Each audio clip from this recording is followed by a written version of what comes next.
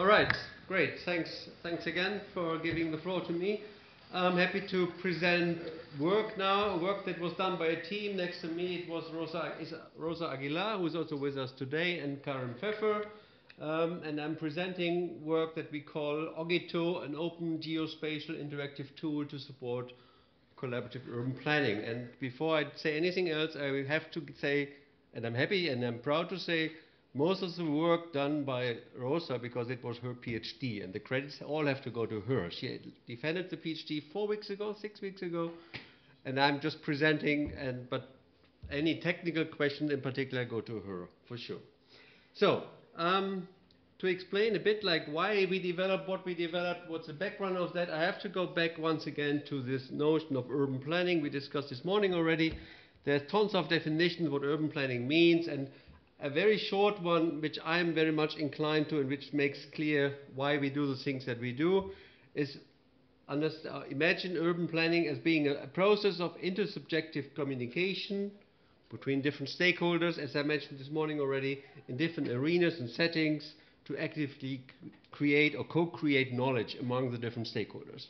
And that's so far, I don't want to go more into the planning domain, um, but to facilitate this kind of co-creation and collaboration among of different stakeholders, um, there are numbers, tons of different tools being developed, digital tools over the last 20, 30 years. Specialized GIS tools, you often find them as decision support tools, planning support tools. Um, and since a couple of years, uh, around about 10 years, I would say, there is uh, more uh, attention to tools that are being implemented on those tables, on those map table tools that I'm showing here also in the two figures. So um, these map table tools are well a certain type of planning support tool, which are particularly mentioned or aimed to facilitate stakeholder interaction on, as you see here on the right figure, uh, and to create knowledge together with different stakeholders, make decisions, let them design on the interactive surface, which is a GIS platform or a uh, specialized GIS tool, also a planning support system, if you want to say so, um, and thereby to create knowledge and make decisions jointly, which is kind of the, the core of, of planning. And the simple but very important gap that we encounter since 10 years, since we run a lab here in, in the house, where we work with such tools is there's no, literally no intuitive, easy to use, uh, user friendly software for implementing on such map tables. There's lots of GIS software, of course. You, most of you know many of these, but they are not made for tangible user interfaces, for touch screens. Uh, and there is particularly no open source development. There was one particular uh, tool software development a couple of years ago by a Dutch company, which many of us know also from Amsterdam, made for map tables, but that was licensed, was pretty expensive, was a basic tool functionality only, and is also not contained anymore. So obviously there is no market for that. So that's why the research gap that we address with this development and, and the PhD of Rosa was pretty much developing an open source, user-friendly, intuitive to use, map table based planning support system.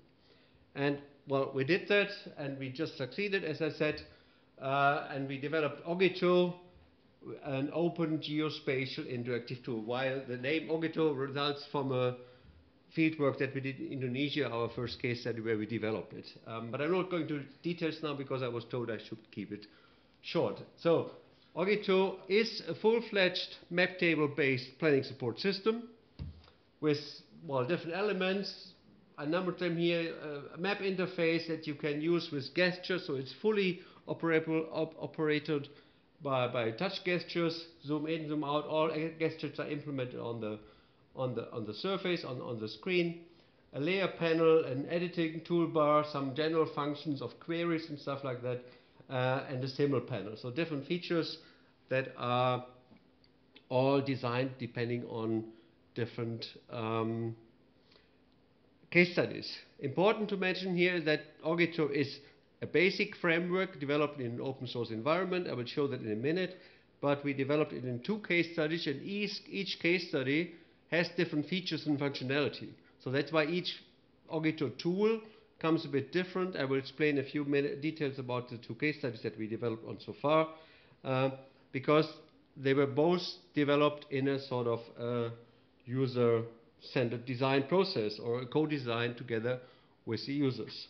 And that is something we put potentially uh, particularly focus on in, in the PhD to go through with our users with attention uh, uh, aimed at users to, for the tool to go through a co-design process to overcome what is widely described in literature as the, uh, as the implementation gap, the PSS implementation gap. The problem with many of the tools is are developed in science, they're developed in universities, research centers, but when it comes to application in, in planning practice with, with, with cities, there is hardly any tool, on, and tools are just not taken up because they are run out of development time. When the project is over, they are not further maintained, they are not updated, and they're not easy to use. And that's why it's our ambition um, to develop the tools with the users, to have specific functionality in it that is, can be used by the users and that is useful for them, that they need to have in it, and, and follow this user design process.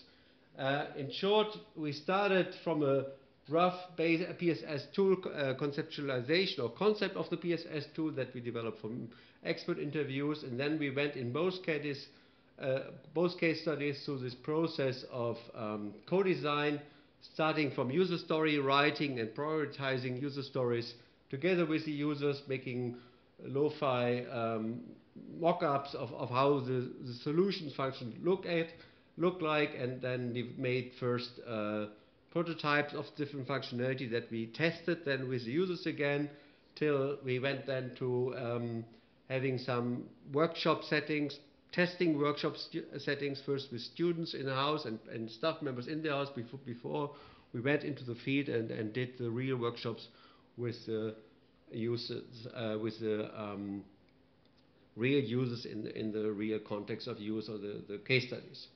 Uh, and to understand how good the tool works, how to the, understand usability and usefulness of the tools, to get feedback on how much do we achieve now the goals that we had with the development. We did an evaluation afterwards by questionnaires and, and did a couple of interviews with the stakeholders to get feedback on different aspects of usability and usefulness. Um, here is roughly sketched out the, the, the architecture of the Augitool tool as it looks like. It comes as a browser functionality on the front end. The back end is, well, a database and, uh, concluding, including all the geographic data. Uh, and then by a QGIS server application connecting the back end to the front end. And the front end is based, is developed in an Angular in, uh, environment including the different features that Rosa can explain way much better than I do. That's why I skipped this part now for the time being. Um, we, as I said, we developed it in two different case studies. Uh, the first one that we worked on was a rural land use planning and budgeting process in uh, rural Indonesia, in Semarang, where we worked with stakeholders on developing a village-based land use mapping tool, basically, which the, the cities or the villages had to do anyhow by default by, by well planning law. And we, we engaged with the, the, stakeholders, not with them directly, but we had another PhD student who was in touch with them, who knew all the user stories that they would write because it was given by, by the planning law what features need to be included in the tool. That's where our user stories in that case study comes from. And then we developed the, the mapping tool, went to Indonesia with our map, uh, map tables and did some, in three villages, did some experiments there. The second case study is a case study on noise action planning in, that we tested and developed with experts and stakeholders in, in Bochum in Germany. Uh, just very quickly on a bit of background, um, noise action planning is a requirement. A noise action plan is something that every city has to develop by European law, by EU directive.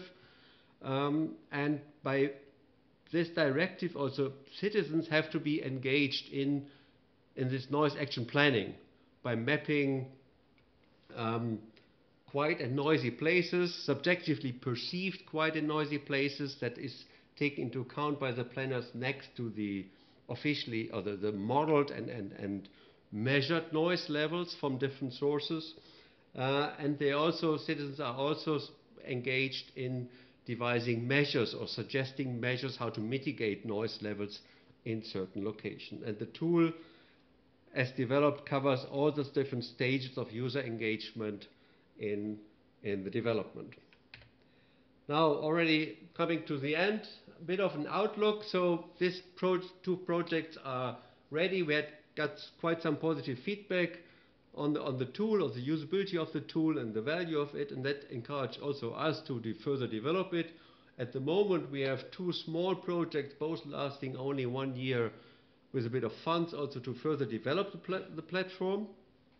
And um, we have the opportunity to develop, or we, we aim to go with these two projects into developing the platform further into an inclusive mapping tool. And inclusive means for us access to all people in a society having access to the tool. And we particularly work with two groups of uh, people with disabilities. In the Netherlands, one group of people with um, physical disabilities, a group of people sitting in the wheelchair, some people having uh, visual or auditive impairments. And we work with them. We generate user stories with them, all, both on the, all on the topic of public accessibility or accessibility to public spaces.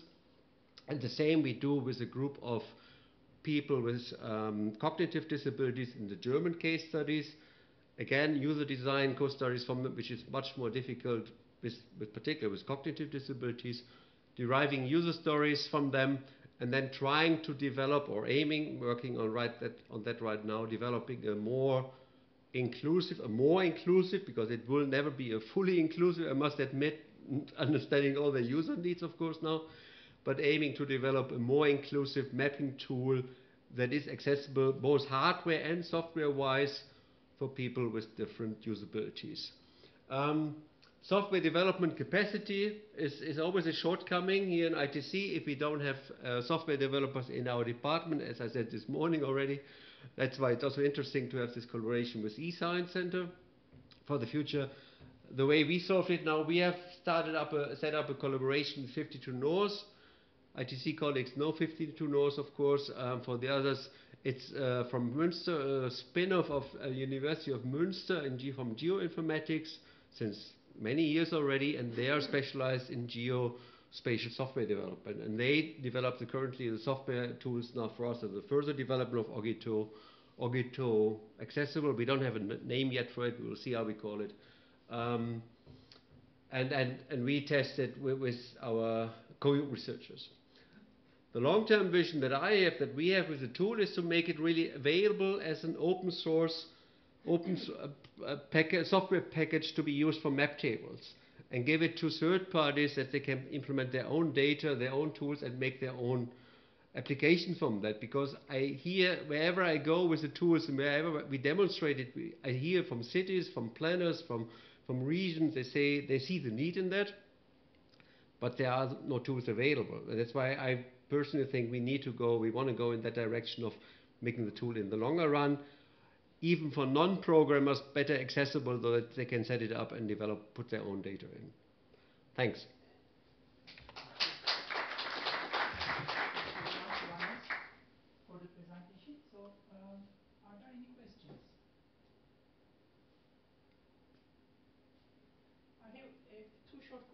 Sure. The first one is observation. Um, um, among the software that we see so far, it was the only one which was not in English. So basically, one, one was in, in, in German, I mean, in the case study picture that you saw, and the other one was also in, in Indonesia. In, Indonesian. So uh, that shows the user-centric approach from my point of view, which was nice, very nice to see, in fact.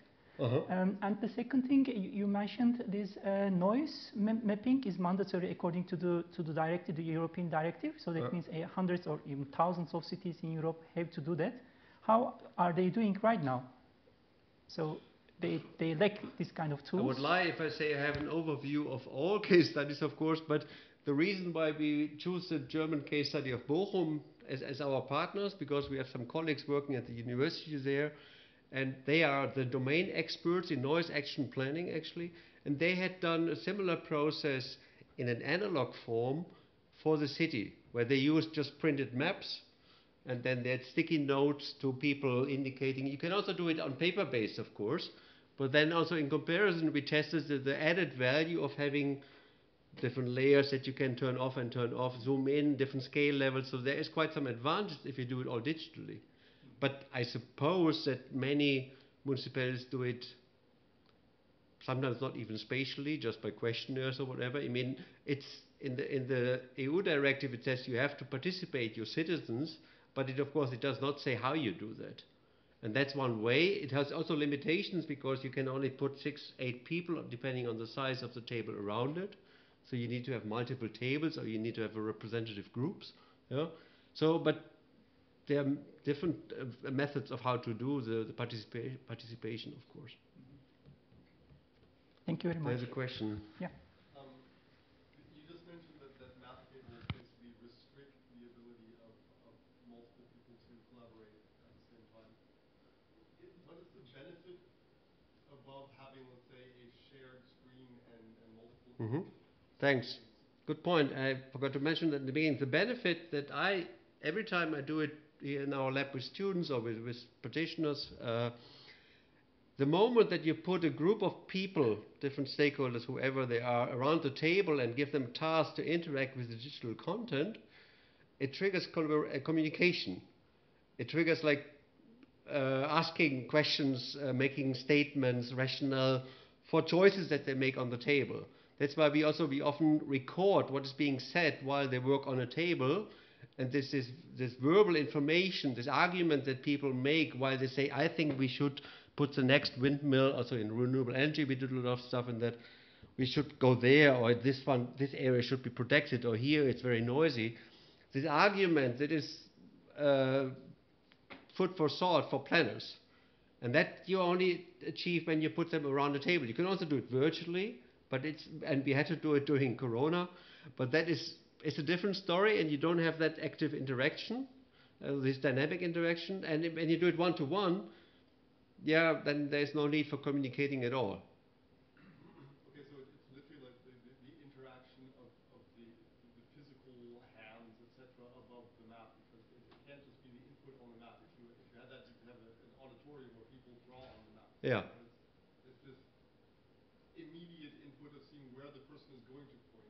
Well, that, so the interaction of the users with the map, but more so, or more important sometimes, even the interaction of the people with each, which is, with each other. So if you put two, two different stakeholders with a different point of view on a certain issue of where to put a windmill or whatever, and you, you let them work in a two hour, three hour workshop, you, you observe things like, okay, now I understand your point better and you understand me better. So it's something like coming closer, not agreeing, not finding consensus eventually, though that would be ideal, but exchanging standpoints and, and coming or understanding other people's view. That for us as planners an achievement in a participatory process. And that is what you, you gain when you put people around such a device. Or you, it can also be a map. It doesn't have to be, we also did that in manual form or in, in analog form. When you have multiple people, when you have 50 people, you don't have 50 tables, of course, or 20 tables. Mm -hmm. Yeah. Okay. Thank you very much again, Johannes. Thanks. So, uh, yeah, I think during a break we can have continue the discussion.